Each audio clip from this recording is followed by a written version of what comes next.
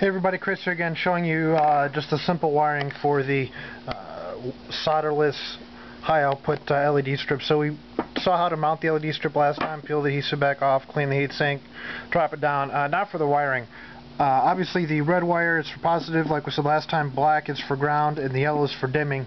So if you want to set it up to where there is no dimming, it's just on 100% all the time, the yellow and blue wires will both go to the positive and the negative slash ground will go to the black wire. If you want to use the dimming, you can get a simple half watt potentiometer and pin 3 will go to the red wire here which is also connected to the positive from the power supply. The black wire will go to pin 1 which is the ground.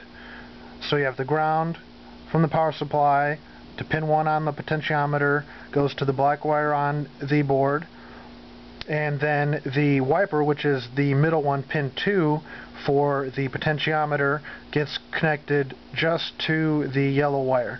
And then uh, again the positive 24 volts from the power supply will go to pin 3 as well as the red wire on the board. And once that's hooked up turn the 24 volt power supply on twist the knob and it dims. Look at that. Yay! Quick simple, easy, painless, uh, utilizing uh, the Cree XP G, XPE, and XTE class of LEDs. Let us know if you have any questions.